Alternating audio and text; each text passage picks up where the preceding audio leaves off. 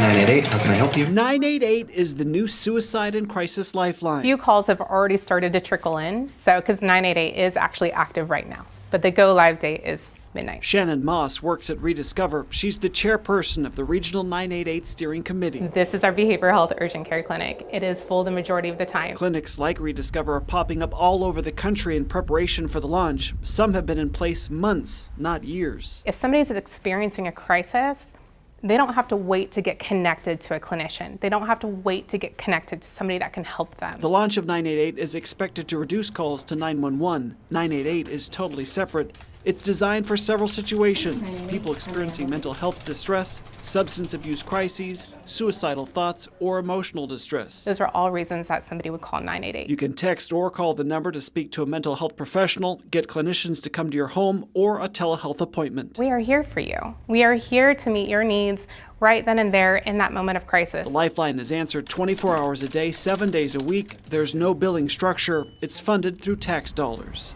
In Raytown, Brian Johnson, KMBC 9 News.